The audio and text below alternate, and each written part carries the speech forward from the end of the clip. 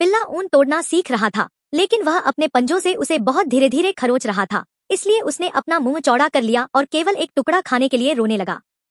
फिर, उसने ऊन का एक बड़ा टुकड़ा लिया और उसे हवा में फेंक दिया। कुछ ही सेकंड में ऊन गायब हो गया। ये कैसा चल रहा है?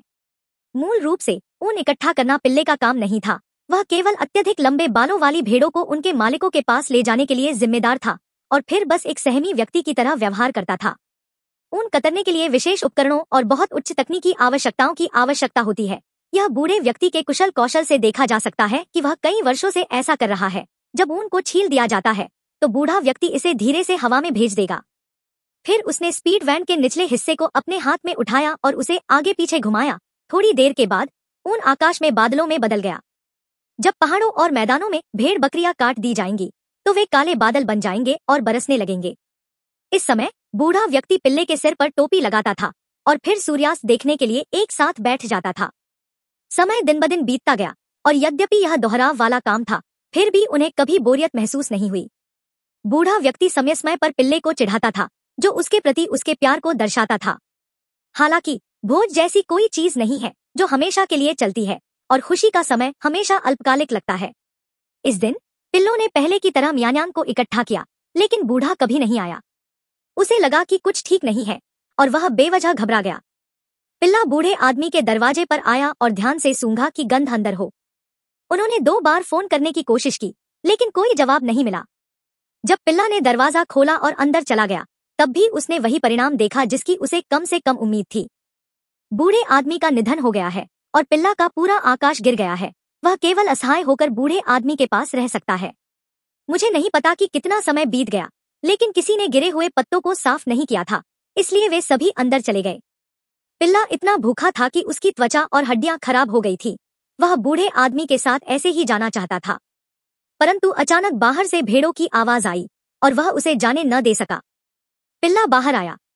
मूल रूप से जीवंत पहाड़ी क्षेत्र अब मृत लकड़ी और पीली रेत में बदल गया था। जो बचता है वह कांटों का झुरमुट है। चूँकि किसी ने अपना ऊन नहीं काटा था, कई दिनों से बारिश नहीं हुई थी और क्योंकि पीने के लिए पानी नहीं था, सभी भेड़े आखिरी जलाशय पर इकट्ठा हुई, जो लगभग पूरी तरह से सूखा था। अब बारिश होनी थी, और भेड़ की ऊन लगभग उसकी आँखों को ढकने वाली थी, इसलिए पिल्ला ने बूढ़े आदमी के उदाहरण का अनुसरण किया और भेड़ को छत पर रख दिया और ऊन निकालना शुरू कर दिया। लेकिन क्योंकि वह कैंची का उपयोग करना नहीं जानता था, वह एक बार में केवल थोड़ी मात्रा में बाल हटा सकता था, और परिणाम यह हुआ कि कोई काला बादल नहीं था, बस जब पिल्ला को पता नहीं था कि क्या करना है। वास्तव में एक बालों वाली भेड़ ऊपर तैरने लगी और पिल्ला तेज़ी से उसके ऊपर कूद गया। मियान्यांग को दूर जाने से रोकने के लिए अपने शरीर पर दबाव डालें। पिल्ले के पास बूढ़े आदमी के कमरे पर कब्जा करने और उन सभी को उसमें भरने के अलावा कोई विकल्प नहीं था। मियान्यांग में बहुत सारी भेड़े थी और कमरा तुरंत भर गया। उसने उसे एक पिल्ले की तरह अंदर धकेल दिया और एक और भेड़ बाहर आ गई। पिल्ला पकड़ने के लिए तेज़ी से मुड़ा, लेकिन तब तक बहुत देर हो चुकी थी। मियान्यांग कांटेदार झाड़ियों में चला गया। जो तेज कांटों से भरी थी। वह इतना चिंतित था कि वह बाहर ही इधर उधर भटकता रहा, अप्रत्याशित रूप से। भेड़ वास्तव में अपने आप निकल गई।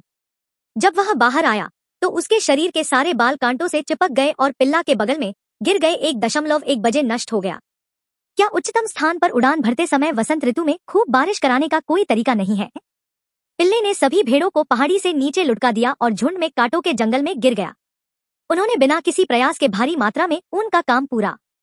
जैसे जैसे बहुत सारी उन्हें आकाश में बढ़ती है, घने काले बादल धीरे धीरे आकार लेते हैं, लंबे समय से खोई हुई बारिश फिर से होती है, और दुनिया में हर चीज़ एक नए जीवन की शुरुआत करती है।